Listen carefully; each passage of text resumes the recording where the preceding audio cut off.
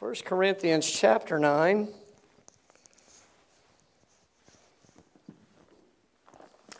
We hit a quick review before we stand up and do our reading, but uh, if you remember last week, we began to break this thing open about Paul and really how he dealt with criticism. Um, and I, I, don't know that I did it very well justice wise uh, when I preached last week, but I do hope that the takeaway we understand is criticism's in the world every day, right? Criticism's constantly going to happen.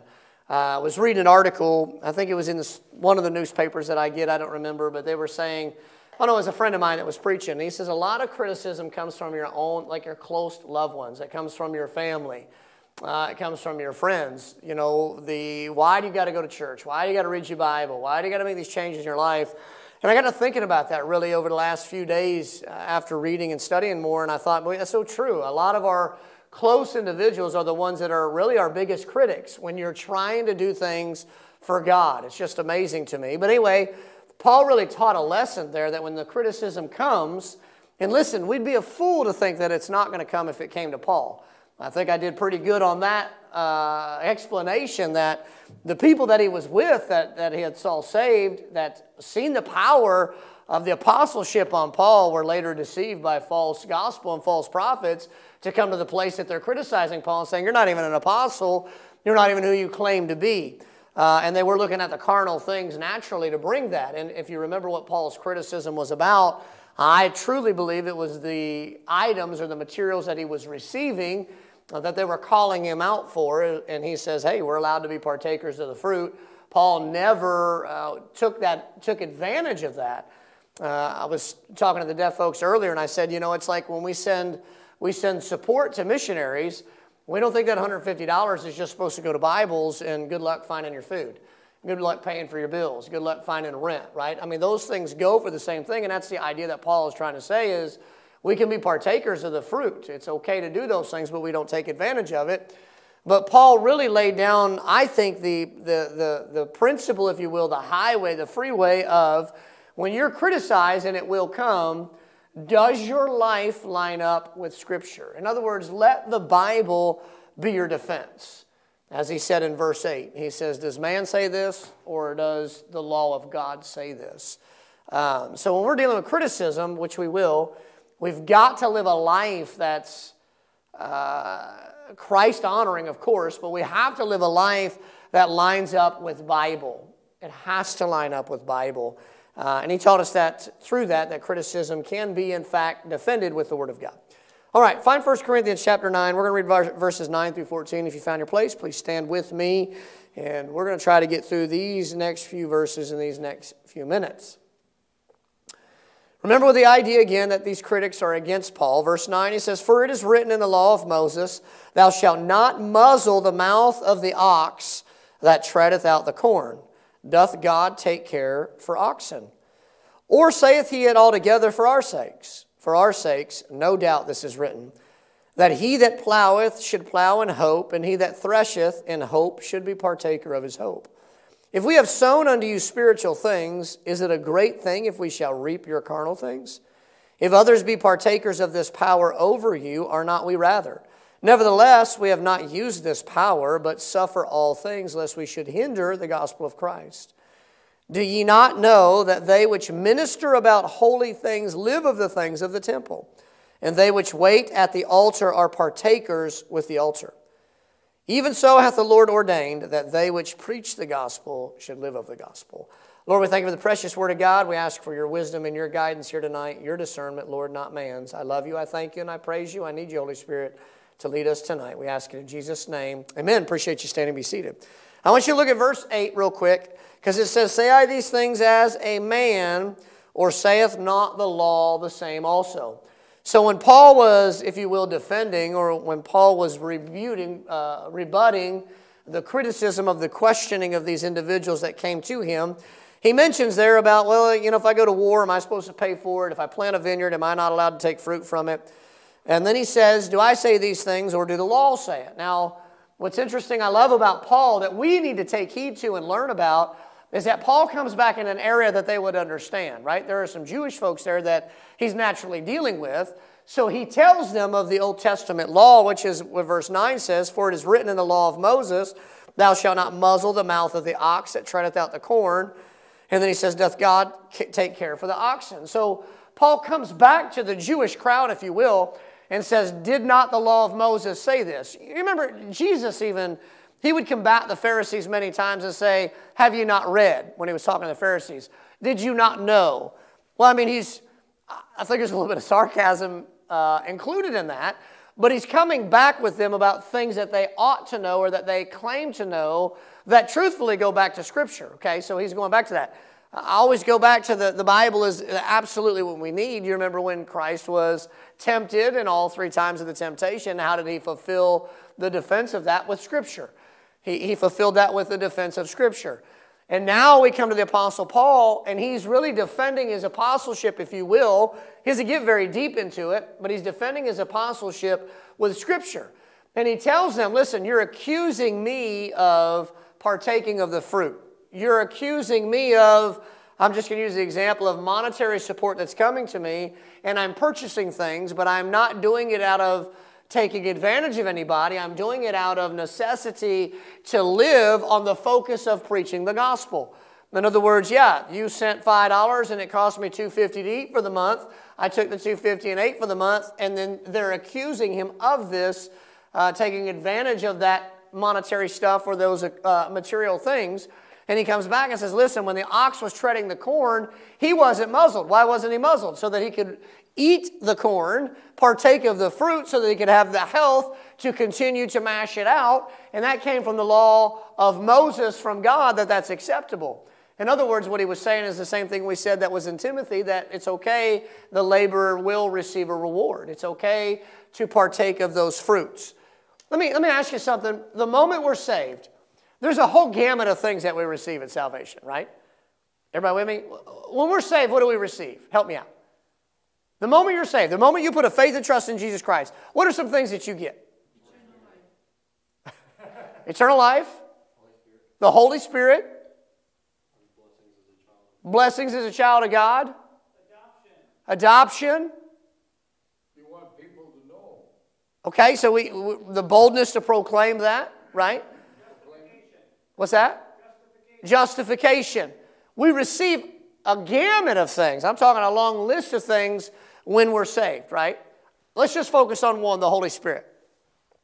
The Holy Spirit is the agent that convicts me, that draws me, right? I hear the Word of God, the Holy Spirit convicts me and draws me to give me that understanding of salvation, right? I mean, it's still my decision whether I want to believe. I know there's the people out there that believe you cannot reject that, but the Holy Spirit draws me to that place, and I put a faith and trust by Jesus Christ. Now, when I'm saved, that same Holy Spirit that drew me now seals me, right? That's one of the things the Holy Spirit does. But what else does the Holy Spirit do for me every day? Leads me, guides me, teaches me, provides me comfort, right? Is that not partaking of the fruit of the Holy Spirit that God gives me? Yes. God didn't just give it to me at the moment of salvation and say, You're done with it.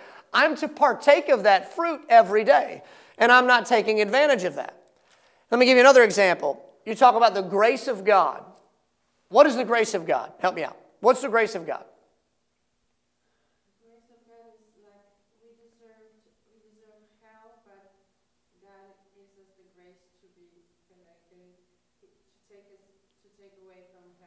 Okay, so he gives us undeserving favor. We deserve hell because of our life and all of those things. And he says, No, uh, here's your undeserving favor. I will provide for you heaven. What's another aspect of grace after salvation?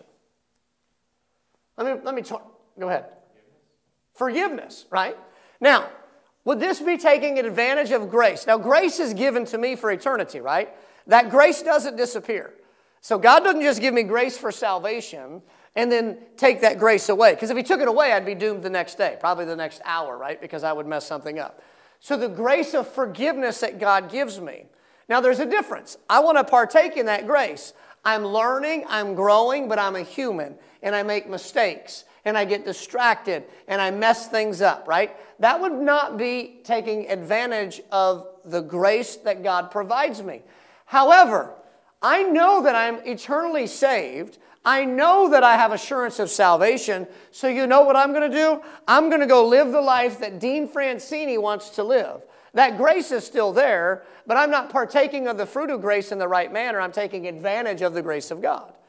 I'll, I'll, I'll just put it right down, right on our toes. Let's step on our toes a little bit, right? The grace of God saved me. That same grace that saved me, I ought to be sharing that grace. And if I don't share that gospel grace, then I believe that I'm taking advantage of the grace of God. Thank you for saving me. Like as some Baptists say, the, the what is it, my four and no more. And thank you, God, for saving me and my family, but that's it, we're done, right? That's taking advantage of the grace of God. But, I don't know how we got down that road. Understand the Holy Spirit that God gives us. I am to, I'm a, it's okay for me to partake in that fruit every day. It's okay to do those things. And Paul is telling this group of people that have been saved through his preaching listen, it's okay that people are supporting me. I'm not taking advantage of it. Why am I not taking advantage of it? Because they're supporting me to live. I need to eat, take clothes, have rent, so that I can therefore what? Go forth and still preach the gospel of Jesus Christ. And he says, listen, guys, you can accuse me all you want, but it lines up with Scripture. It lines up with Scripture. That's the best way to defend criticism is does your life line up with Scripture, okay? So it is in Scripture that the, the ox does it and God takes care of the ox and certainly he's going to take care of mankind as well. Now look what he says in verse 10. He says, uh, now does, does God take care for the oxen? And he just mentioned, thou shalt not muzzle the mouth, for it is written in the law of Moses. And he says, or saith he it altogether for our sakes? He asks a question.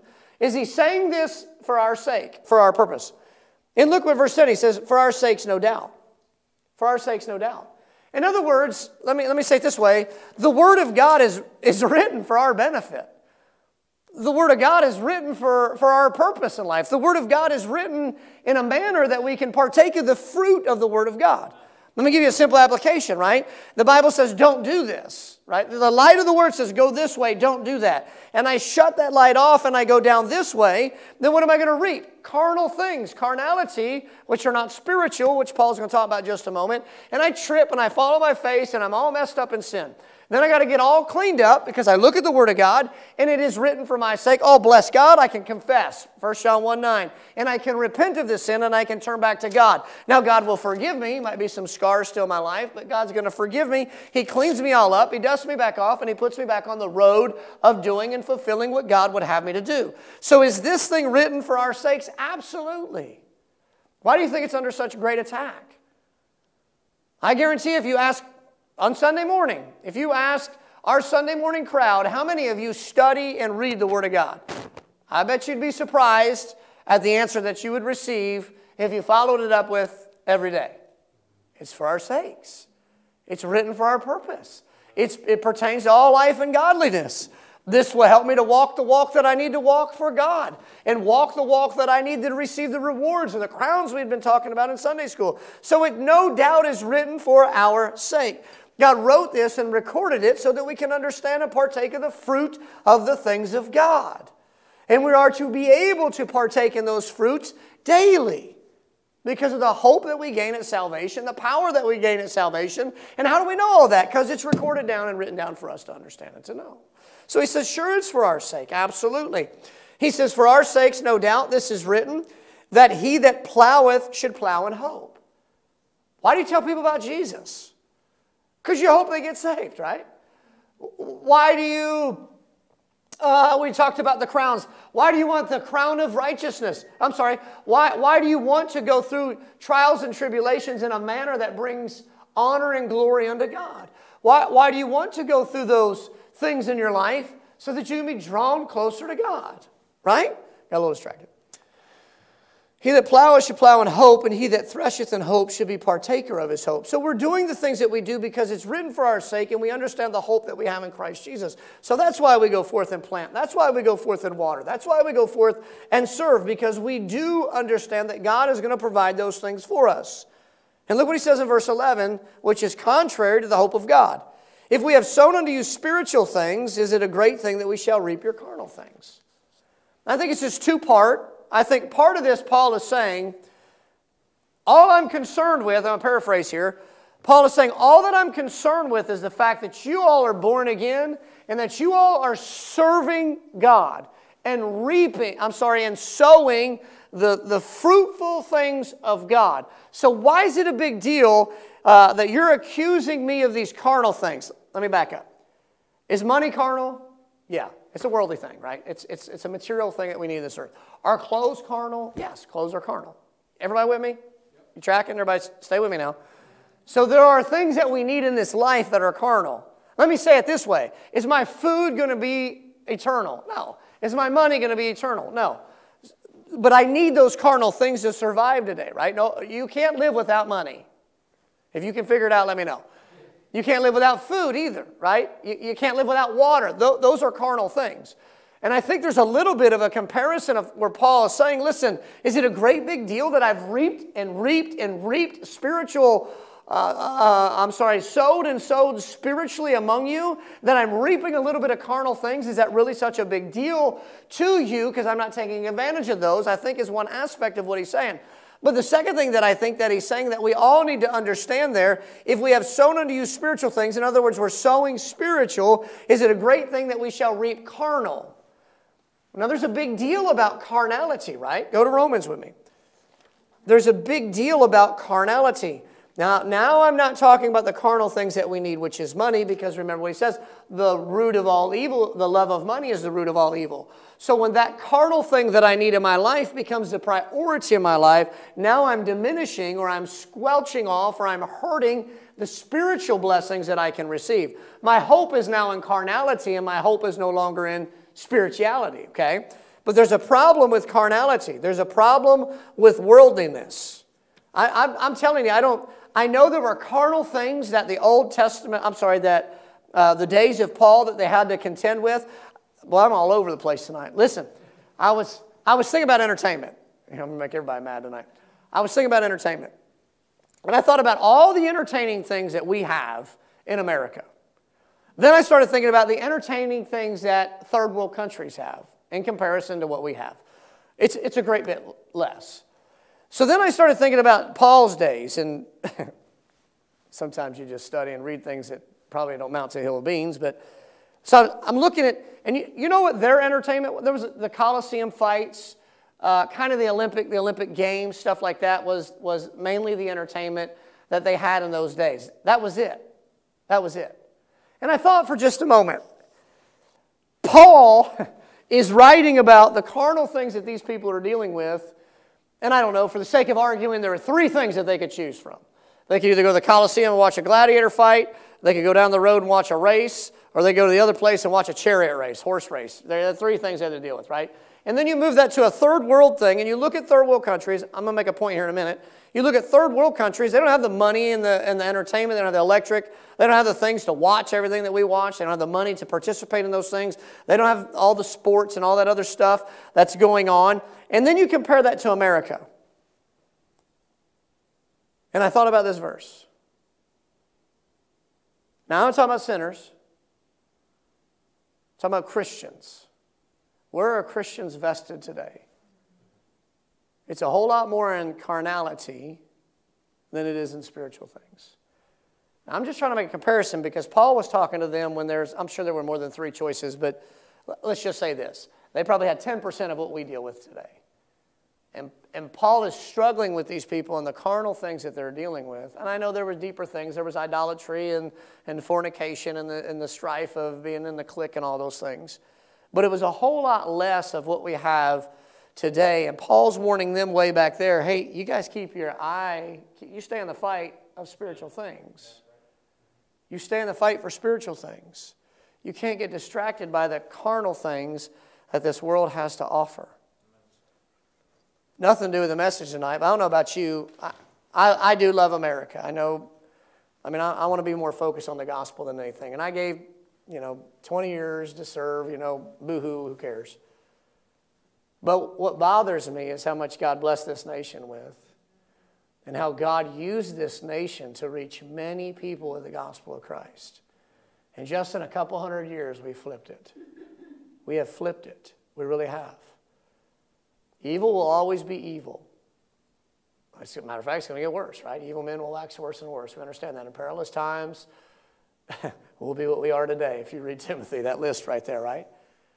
But what bothers me is we who have experienced the grace of God, the love of God, we have partaken of the fruit of grace, the Holy Spirit of God that's within us. And we hang out over here in this carnal realm, and it's all about me, me, me.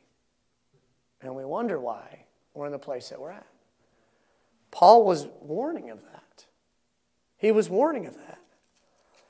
In Romans chapter 8, verse 4, it says that the righteousness of the law might be. No, let's pick up in verse, I'm sorry, verse 5.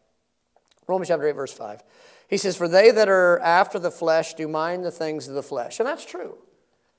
Right? I'm, Christianity as a whole, and when you, when you try to look at things, Christianity, they call it Protestants, and we're under Protestants, right? We know we're not, but we fall under that realm.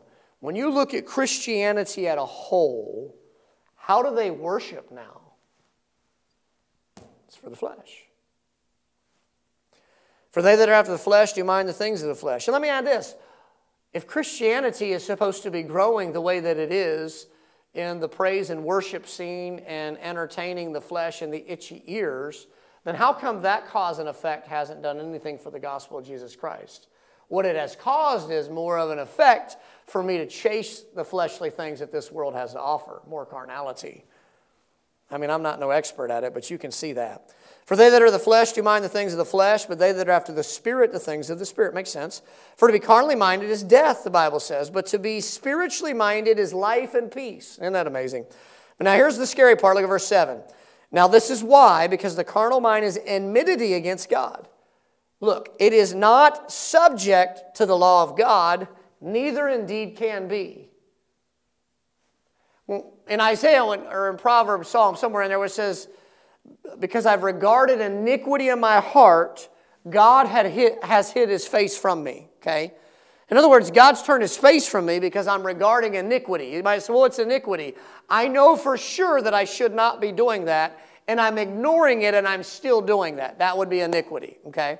So I'm regarding iniquity in my heart, and God is hiding his face from me. So I want you to understand what that means for a moment. I'm praying that so and so gets saved but I'm regarding iniquity in my heart. My prayer of faith is going about as high as this ceiling because I'm regarding iniquity in my heart. And until I relieve that iniquity in my heart, then I cannot reap those spiritual things, okay? So when I'm dabbling in, in carnality, which is enmity with God, I get to the place that I'm no longer subject to the Word of God. Let's be honest, I don't care about the things of God because I care about the carnal things that are much more. Now, that's the accusation that they were making against Paul. Ultimately, what they were saying is, Paul, you're so concerned about these carnal things that we don't even believe you're an apostle anymore and that you're taking advantage of all of these carnal things. Ultimately, what they're saying to Paul is that you're no longer a spiritual individual. So I can understand why Paul writes this thing back to them and says, listen, time on a court. Time on a court. Carnality is a dangerous thing. And carnality affects every individual, unfortunately. And ultimately, when we get in the flesh, we're not going to be subject to the law of God. Now, remember, the Word of God is a spiritual book, and we need to be spiritual, right? I mean, it tells us to worship Him in spirit and truth, right? This is a spiritual book, and we need to be full of the Holy Spirit, if you will, yielded to the Holy Spirit as we look into the Word of God to make application of things of the Word of God. I'm not saying I understand the issues of life. Probably to eat these words one day, but sometimes I wish I was born out in the middle of a jungle and didn't have to deal with the stuff that this world imposes upon us. He says, if we have not sown on you spirit, or if we have sown on you spiritual things, is it not a great thing that we should reap your carnal things? He goes on in verse 12. If you go back to Corinthians with me, he goes on to verse 12. After he asks, I don't understand why we're dealing with all and reaping all these carnal things. I mean, some of that was his accusation. That was some of that was his criticism. Some of that was the division. Some of that was just a lack of the knowledge of the things that he taught them. Anyway, he comes back in verse 12 and he says, And if others be partakers of this power over you, are not we rather? You know what Paul's saying there? He's saying, listen, if you guys are submitted to the authority of these false teachers and the false prophets and the falseness of the doctrine that's been brought in, if, in other words, if you've yielded to the subject of their power, are not we rather? In other words, let me say it this way Paul would be saying, listen, you guys came to the gospel because we came and preached it. Now, Paul wouldn't say it this way, but we were there. You saw the power of God within us. We preached the message that Christ must have suffered and died and risen again on the third day. And you recognize your freedom from your bondage of sin and you put a faith and trust in Jesus Christ. So he says, rather not, shouldn't you be subject to the authority of what we preach to you, other than being under the subject and the authority of all this false junk that has come to you? That's what Paul asked him. It's a good question to ask. Nevertheless, and he goes on, I love this. Nevertheless, we have not used this power, but suffer all things, lest we should hinder the gospel of Christ. You know what Paul's saying? Paul's saying, I have all, and he does. Paul had all of the authority of an apostle upon him. He blinded a man. You remember that? He, he, go be blind. That'd be a neat power to have, right? He blinded a man. I mean, he performed miracles. He had the power of God upon him all of his time. And he never abused that power to hinder the gospel. Now, he could have, he could have hindered the gospel by abusing that power. Does that make sense? You with me? He could have abused his power in the gospel. Just like the example I gave. I believe when we hide the gospel and we live a life of sin, we abuse the power that God has given us. Let me explain. I can, I'm, I'm forever going to heaven. But Christ didn't save me to take me straight to heaven, right? Christ saved us for a purpose. Right? What's the purpose? To shine a light into a dark world. That's, that's what he tells us. But not only does he give us that purpose to shine a light in a dark world, he gives us the power, the partaker of that Spirit, the Holy Spirit, to be able to do that, to be able to preach that, okay? So Paul says there, we, basically, we never abused our power. Nevertheless, we have not used this power, but suffer all things, lest we should hinder the gospel of Christ. Wouldn't it be great if we all would live a life of that same goal in our mind? We don't want to do anything to hinder the gospel. Pause for effect. That means I have to watch what I say. That means I have to watch how I respond. Right? That means I have to watch the things that I do. I have to avoid some places that I used to go. Stop acting like I used to act, right? Because that hinders the gospel. Why do you think all of these people have this big mindset of, uh, they got an abbreviation for it, but once saved, always saved? They say that you take advantage, you have a license to sin. Why are they saying that? Because there are people that were saved, probably truly born again, that took advantage of that grace, and because of their lifestyle, they have, in fact, hindered the gospel. Because people say, You're a hypocrite. You're a hypocrite. You don't live what you believe. You don't act the way you ought to act as a Christian according to the Word of God. And they hinder the gospel. Now, we know the power of the gospel is what saves, right? We, we understand that. And we understand that carnality is not going to promote our spirituality. It's, in fact, enmity with that, it's opposite of that. So, what we need is His power upon us through the Holy Spirit of God to carry what? The power of the gospel message to a lost and dying world. That's what we need. That's what we ought to be partaking in. That's exactly what Paul did to those people at the town of Corinth. Verse 13 do you not know that they which minister about holy things live of the things of the temple? And they that wait at the altar are partakers with the altar. Now, how did the Levites get fed back in the day? Anybody? How did the Levites, the priests, all those people in the Old Testament, how did they get paid? How did they eat? In the wilderness, yeah. But I'm saying when they were working, right? The offerings. Sometimes the offering would say, burn the innards, right? Burn the caul, burn the liver. But the rest was for what? For them, right? Sometimes some of the meat would be burnt, some of the meat would be given to them. You remember the Levites, they said you would, uh, when you read Malachi, it says you bring in the first fruits to the storehouse, right? And they were to partake of that. That's what Paul is addressing here. Paul is saying, listen, number one, God provides it. But they're in the ministry of serving. They were bringing it to the temple, they were bringing it to the altar, and they therefore could take, partake in that same food, fruit, to pay for their living, if you will. Okay? So, do you not know they which minister about holy things live of the things of the temple, and they which wait at the altar are partakers with the altar? So, that's one aspect of it, is that the things would be provided through the people of God. But the second thing of that is, because you remember in the Old Testament when they messed that thing up, God killed them, right? I think it was Eli's kids, uh, a couple other of the kids that they got killed because they were living outside of that. Now, Paul just said, Paul just said in verse 12, I don't want anything to hinder the gospel. And then he comes back in verse 13, which I think is, is two part. Number one, they would live the life they need from the part, for partaking of the fruit. But number two, that those that were working in the temple needed to be temple workers, if you will. Those that were partaking at the altar needed to be altar people, if you will. Verse 14, even so hath the Lord ordained that they which preach the gospel should live with the gospel. I think what Paul is addressing here is hypocrisy. It's hypocrisy. We ought to live our lives in a manner that we do nothing to hinder the gospel. And if we're preachers of the gospel, I recognize some of that's himself uh, and Silvanus and, and, and, and Timothy preaching to them. I understand some of that. But also, every one of us is a proclaimer of the gospel, and he says we ought to live of it. Now, number one, you can't be a preacher of the gospel, you haven't partaken of the gospel, right? So the gospel's preached, death, burial, resurrection, so that individuals can be saved. When we're saved, we're partakers of that gospel message, okay? We're, we're partakers of that fruit of salvation. But now, he says, I'm to live of the gospel. Now, what's the gospel? Church, what's the gospel? Death, burial resurrection, right? So, how do I live of the gospel? Well, I'm to be dead to self, right? I'm to be dead to self. It should be buried. The old man should be buried. We talked about 2 Corinthians 5:17 last week. I'm a new creature, old things pass away, behold, all things are new, right?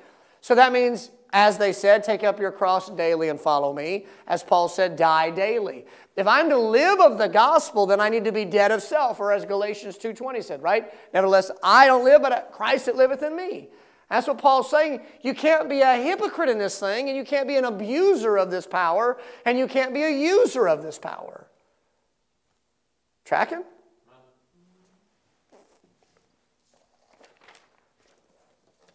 So ultimately, the written word is absolutely for our sakes. We recognize that. So we better take advantage of it, if you will. We don't only partake, and we certainly shouldn't be greedy. But we sure, surely shouldn't be hypocritical. The word is for us live, serve with hope in Christ. Spiritual reaping all, is always better than physical and carnal. I promise you that. Submit to the authority that's over you in Christ Jesus, and don't be a hypocrite and live for Him. Now, all of this started because they were accusing Paul. And Paul says, first off, the scripture says that I'm allowed to be a partaker of that. Second off, there's a deeper meaning in there where Paul says, listen, you guys are supposed to be. Was it saying John 15 that, uh, that you, should, you should bear fruit and that your fruit should remain, right? Because sometimes that's going to be a benefit, if you will, for later on down the road. I use the example somebody gets saved uh, and through that ministry, later on, they, they, supply, they, they support that same individual that led them to the Lord that's a missionary down the road. He's now partaking of that spiritual fruit that he had reaped. Let me just make an easier one, right? As I'm reading through the scripture and I find something that gives me victory in my life over something sinful, I'm now a partaker of that fruit. And I'm to continue to live within that fruit, okay? So I'm, I'm learning and growing and learning and growing. And Paul says ultimately, let your life Mirror the Word of God, match the Word of God, so that the Word of God can be the defense against those that come against me. Because it's going to happen.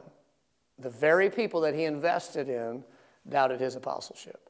The very people that he invested in and seen saved were later accusing him and trying to take him down and hinder the gospel of his preaching. Those same people that he invested in. And Paul doesn't get revenge, Paul doesn't get evil. Paul just says, What's the Word of God say? What's the Bible say? And for that to be that impressive or that much of an impact, then I have to be a partaker of the gospel, as in living the gospel. If I'm a hypocrite, then their accusations could hold some ground. If I'm not a hypocrite, then I can defend with the Word of God in a way that it might impact them and change their lives to turn them around, just as Paul is trying to do with them. Our way of living is a big deal. It's a very big deal. And it lines up with this. Let's not be a hypocrite. The Word of God is for our sake and for our purpose. Let's live it. Father, thank you for the Word of God. Thank you for which uh, a few things we went through here tonight, Lord. I pray that they just stick in our hearts and our minds, God. I pray this, Lord, honestly, that we would recognize that the carnal things of this world are, uh, number one, they're enmity, and I get to the place where I'm not subject to the Word of God. But Lord, the carnal things, although they're enticing and although they're fun for a season, Lord, they will hurt us, they will destroy us, and they will hinder the gospel of Jesus Christ going out into a lost and dying world, Father. And I'll be tied to that, Lord, as an individual that's supposed to be a proclaimer of that. Father, help us to not be hypocritical, Lord, at all. Help us to not take advantage of the things that you've given to us, Lord. Help us to take that and to sow it out, God, that we would reap spiritual things over carnal things. And Lord, I pray this when the accusations and the criticism and the calling out do come, Father, that we would be, I guess I could say, spiritual enough, Lord, is just to trust you and to depend upon you and say, you know what? Listen, folks, my life lines up with Scripture. It lines up with Scripture. It lines up with Scripture. But for that to happen, it's going to have to be a daily thing for us to die to ourselves, Lord, and to live for you. Please keep us safe as we head out. Father, bring us back safely on Sunday. Thank you so much for your protection and getting us all here, Lord. And I pray that you'd bless us as we leave out. In Jesus' name we pray. Amen. Thank you for being here tonight. Make sure you smile at one another, be happy, be friendly, and we'll see you on Sunday, Lord willing.